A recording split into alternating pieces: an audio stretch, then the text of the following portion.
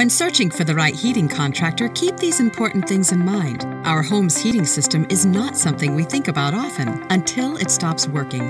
Then it becomes an immediate concern. The right heating contractor can keep your heating system in good repair and offer advice for reducing your energy bills. The following are three vital tips to help you find a heating contractor that is right for you.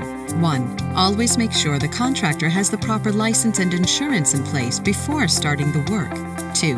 Ask what types of equipment they are most familiar with. You will want to be sure your heating specialist is experienced in repairing your type of heating system. 3. Always ask if they have online reviews or any testimonials they could direct you to.